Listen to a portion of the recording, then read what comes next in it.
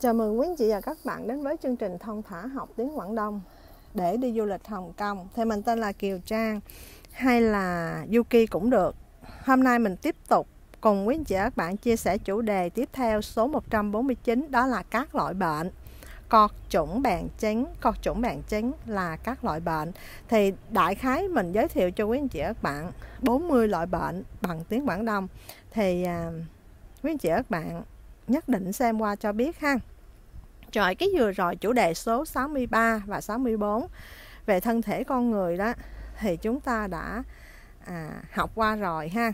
Thì bây giờ chúng ta lợi dụng thân thể con người, chúng ta muốn nói đau cái gì đó, muốn nói đau cái gì đó, đau ở đâu thì chúng ta dùng bộ phận thân thể của con người xong thêm chữ đau ở phía sau là được ha. Rồi thí dụ à, đau đầu hay là nhức đầu thì chúng ta sẽ nói như thế nào? Nói như thế này, số 1 thầu thông thầu thông thầu có nghĩa là cái đầu. Chúng ta thêm cái chữ đau đau có nghĩa là thông ở phía sau ngay chỗ phía sau là được. Thầu thông có nghĩa là nhức đầu hay là đau đầu. Rồi tiếp tục nhức răng hay là đau răng thì chúng ta sẽ nói như thế nào? Số 2 răng là ngà thêm vô chữ thông ở phía sau, thêm vô cái chữ đau ở phía sau, ngà thông. Ngà thông là nhức răng hay là đau răng? Rồi, bây giờ nhức mắt hay là đau mắt thì chúng ta nói như thế nào? Đơn giản số 3 ngạn thông. Ngạn thông, ngạn là mắt, thông là đau, ngạn thông là đau mắt hay là nhức mắt. Rồi tiếp tục, đau bụng. Đau bụng thì nói như thế nào? Số 4 thụ thông thụ thông thụ thông thụ là bụng, thông là đau thụ thông là đau bụng. Rồi tiếp tục, đau dạ dày hay là đau bao tử thì nói như thế nào? Số 5 quầy thông quầy thông. Quầy là bao tử, thông là đau. Quầy thông là đau dạ dày hay là đau bao tử? Rồi tiếp tục, thí dụ như bây giờ đau đầu gối, thì sẽ nói như thế nào? Số 6 nói như thế này. Sách thầu có thùng sách thầu có thùng sách thầu có có nghĩa là đầu gói thung là đau. Sách thầu có thung sách thầu có thung là đau đầu gói. Rồi tiếp tục thì thí dụ như chúng ta muốn nói đau lưng thì sẽ nói như thế nào? Như thế này, đơn giản số 7 bùi chạc thung bùi chạc thung bùi chạc thung có nghĩa là đau lưng. Bùi chạc là lưng thung là đau. Bùi chạc thung là đau lưng. Rồi tiếp tục, đau cột sống thì sẽ nói như thế nào? Đau cột sống nói như thế này, số 8 díu quách thông. Díu quách thông. Díu quách thông. Díu quách thông có nghĩa là đau cột sống. À díu quách có nghĩa là cột sống thông là đau. Díu quách có nghĩa là đau cột sống. Rồi à, đau mắt cá thì nói như thế nào?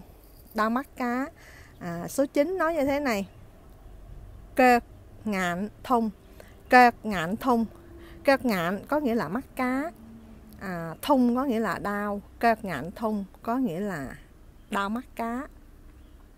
Rồi tiếp tục đau tay thì sẽ nói như thế nào? Đơn giản số 10 tay là sẩu thêm vô chữ thung ngay phía sau. Sẩu thung sẩu thung sẩu thung có nghĩa là đau tay rồi tương tự đau chân thì sẽ là số 11 chân có nghĩa là cơ cơ có nghĩa là chân cơ chân. À, thung có nghĩa là đau kẹt thung có nghĩa là đau chân đau chân là kẹt thung rồi ví dụ như bây giờ chúng ta đau ngực thì sẽ nói như thế nào? Số 12 sắm hậu thùng sắm hậu thùng. À, sắm hậu có nghĩa là ngay cái bộ phận ngực sắm hậu là ngay tới chỗ trái tim á. À thung có nghĩa là đau sắm hậu thung có nghĩa là đau ngực. Rồi à, đau cổ họng thì sẽ là số 13 hầu lùng thung. Hầu lùng thung. À, hầu lùng có nghĩa là cổ họng thung là đau hầu lùng thung có nghĩa là đau cổ họng. Rồi tiếp tục thí dụ như đau lỗ tai. Đau lỗ tai thì nói như thế nào? À, nói như thế này số 14 lỗ tai là dị chảy. Dị chảy thêm vô chữ thung ngay phía sau thì sẽ là dị chảy thung. Dị chảy thung có nghĩa là đau lỗ tai rồi, tiếp tục. Đau cùi trỏ tay thì sẽ nói như thế nào? Số 15 sẩu chán thung. Sẩu chán thung. Sẩu chán có nghĩa là cùi chỏ tay thung có nghĩa là đau. Sẩu chán thung. Sẩu chán thung có nghĩa là đau cùi chỏ tay rồi, đau cổ tay thì sẽ nói như thế nào? Số 16 sẩu uổng thông sẩu uổng thông à sẩu uổng có nghĩa là cổ tai không anh chị các bạn? Sẩu uổng có nghĩa là cổ tai thông có nghĩa là đau. Sẩu uổng thông đau cổ tai rồi à, đau bắp chân thì sẽ nói như thế nào? Số 17 xỉu thổi thông xỉu thổi thông xỉu thổi thông có nghĩa là đau bắp chân. Bắp chân có nghĩa là xỉu thổi xỉu thổi có nghĩa là bắp chân thung là đau. Cùng nhau đọc lại xỉu thổi thông. Xỉu thổi thông có nghĩa là đau bắp chân. Rồi tiếp tục đau bắp đùi. Thầy thấy nói như thế nào? Số 18 à, tài thổi thông. Tài thổi thông.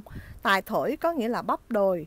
Thêm vô chữ thông ngay phía sau. Tài thổi thông có nghĩa là đau bắp đùi. Rồi tiếp tục thí dụ như bây giờ chúng ta muốn nói viêm cái gì đó thì à, cái mẫu như thế này bộ phận thân thể xong chúng ta thêm cái chữ viêm ở phía sau thì như thế này. Thí dụ viêm à, dạ dày ruột thì sẽ nói như thế nào? Số 19 tràn quầy diềm tràn quầy diềm tràn quầy có nghĩa là dạ, dạ dày ruột diềm có nghĩa là viêm.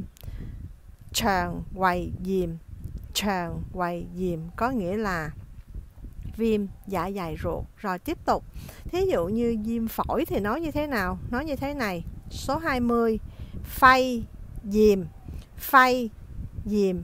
Phay diềm có nghĩa là viêm phổi phay có nghĩa là phổi, diềm có nghĩa là viêm phay diềm có nghĩa là viêm phổi.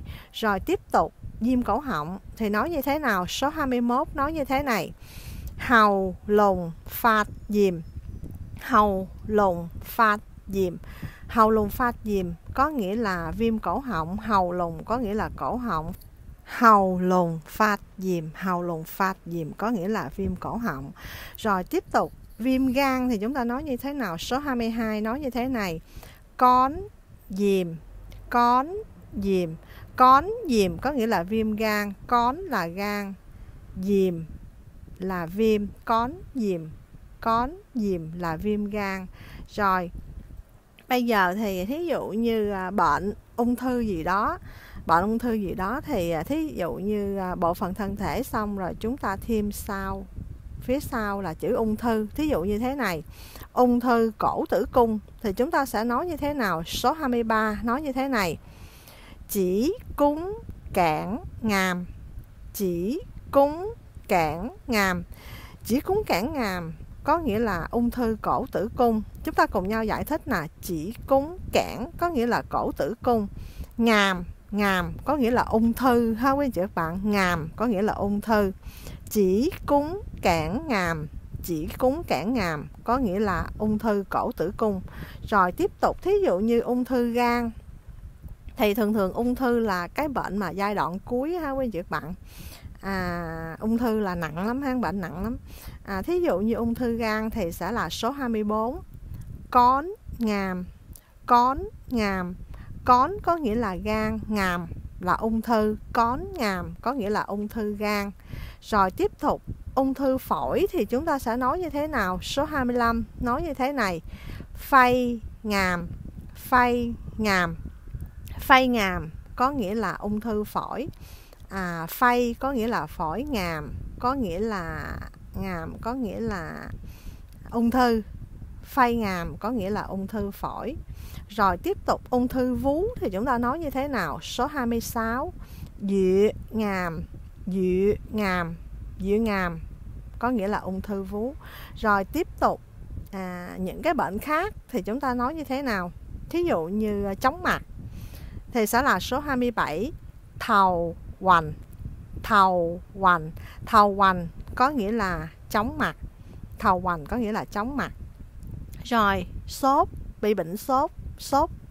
Số 28 nói như thế này. Phạt xíu. Phạt xíu. Phạt xíu. Phạt xíu có nghĩa là sốt.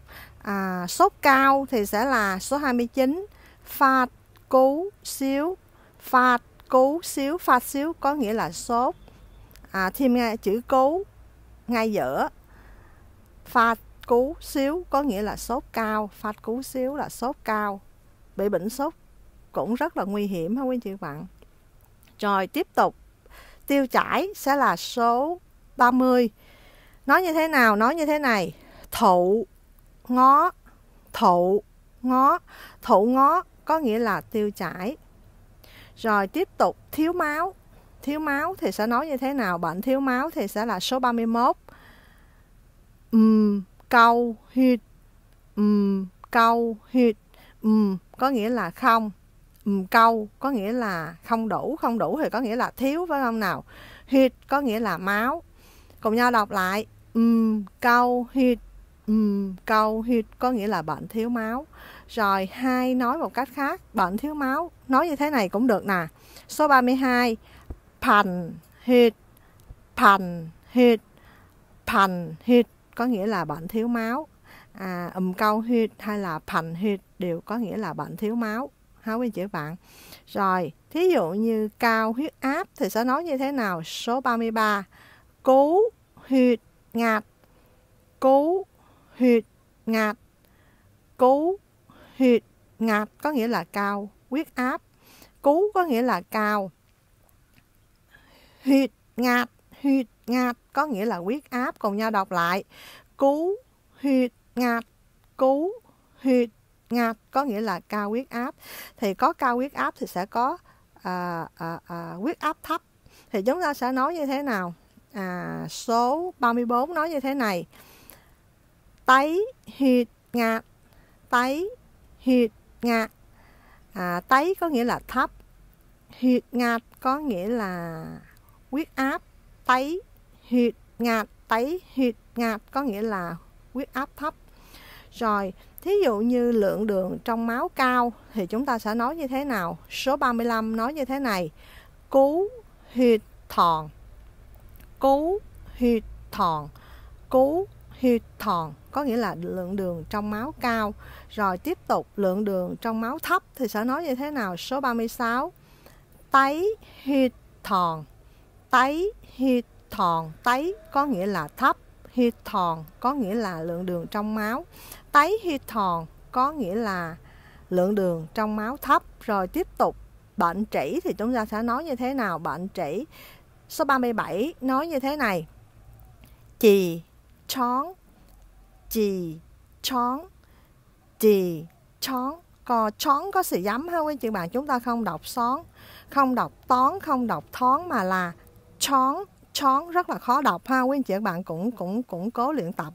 Cùng nhau đọc lại, chì chón chì chón có nghĩa là bệnh trĩ.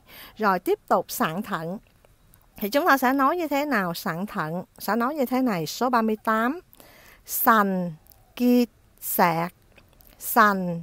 Kít sạc sành. Kít sạc có nghĩa là sạn thận. Sành có nghĩa là thận ha quý anh chị bạn? Sành có nghĩa là thận. Sạc có những là là cái cục đá. Kia sạc là nó kết thành những cái cái cục đá. Người ta gọi là sạn thận. Sành. Kia sạc sành. Kia sạc có nghĩa là sạn thận. Rồi tiếp tục, bệnh tim. Bệnh tim thì chúng ta sẽ nói như thế nào? Bệnh này cũng rất là nguy hiểm ha quý anh chị bạn. Có thể ra đi bất cứ lúc nào. Số 39 sấm tròn bàn. Sấm tròn bàn. Sấm tròn bàn. Có nghĩa là bệnh tim. Rồi tiếp tục. Đau khớp. Cái uh, chứng bệnh mà mình muốn chia sẻ sau cùng đó là đau khớp. Đau khớp thì sẽ là số 40 phúng sắp. Phúng sắp. Phúng sắp có nghĩa là đau khớp ha quý bạn khớp gì cũng được, trong thân thể mình có khớp gì cũng được. Miễn đau là người ta kêu là phúng sắp phúng sắp là đau khớp ha. Rồi, thì đó là tên các loại bệnh mà các bạn nên tham khảo cho biết để ai đó hỏi mình bệnh gì, hay là đau ở đâu thì mình cũng biết đường mà trả lời, hay là biết đường để mà nói ha quý vị bạn thì thí dụ có ai hỏi mình bạn không khỏe ở đâu thì mình sẽ đáp lại. Một trong những loại bệnh trên là được. Không anh chị bạn? Thí dụ như thế này. Hỏi, lị biến tù xíu phục, lị biến tù xíu phục, lị biến tù xíu phục. Có nghĩa là người ta muốn hỏi mình, bạn không khỏe ở đâu? Cùng nhau giải thích là lị có nghĩa là bạn hay là anh chị cô bác gì dượng dân dân ở ngôi thứ hai số ít mình cứ nhắc đi nhắc lại cho quý anh chị các bạn hoài đó ha. Biến tù biến tù có nghĩa là ở đâu?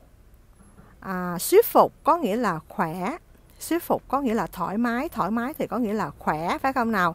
Ừm có nghĩa là không ừm có nghĩa là không. Ừm thuyết phục có nghĩa là không thoải mái không thoải mái thì có nghĩa là không khỏe. Chúng ta cùng nhau đọc lại lệ biến tụ um, thuyết phục. Lệ biến tụm sứ phục. Có ai hỏi mình cái câu như thế này? Lệ biến tụm sứ phục. Có nghĩa là người ta hỏi mình bạn không khỏe ở đâu? Ha, ha hay là bạn đau ở đâu? Bạn không khỏe ở đâu? Rồi à, đáp lại thí dụ như bây giờ mình nói mình bị đau đầu thì sẽ đơn giản thôi thầu thun. Hai chữ thôi ha quý vị bạn? Khỏi nói rườm rà người ta cũng hiểu rồi. Bệnh hoạn mà nói chi văn chương phải không nào? Thầu thun thầu thông có nghĩa là đau đầu lệ biến tùng xíu phục thầu thông. Lệ biến tùng xíu phục thầu thông. Có nghĩa là à, bạn không khỏe đâu đau đầu hay là nhức đầu. Mình nói cho anh ta biết ha. Rồi hay là một cái ví dụ khác như thế này. Lị biến tùng xíu phục bạn không khỏe ở đâu à thí dụ như mình muốn đáp là tiêu chảy thụ ó thụ ó ha quý chị bạn? À, thường thường mấy người bệnh á, thì không có nói văn chương được đâu. Đơn giản càng đơn giản càng, càng tốt mà nói cái câu chủ yếu ra là được rồi. Mình bị tiêu chảy thì mình nói tiêu chảy thôi. Thủ ó.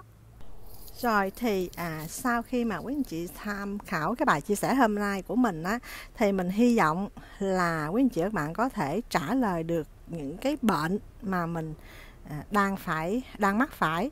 Thí dụ như là à, người ta hỏi lý biến tùng suy phục thì mình thí dụ như mình à, đau răng thì mình cũng biết nói như thế nào ngà thung ha à, hay là mình bị nhức đầu thầu thung hay là đau bao tử quầy thung à, hay là đau cổ tay sẩu quẩn thung ha dần dần à, đó là những cái gì mà mình chia sẻ hôm nay cùng với chị các bạn ha à, chúc quý anh các bạn luôn thành công.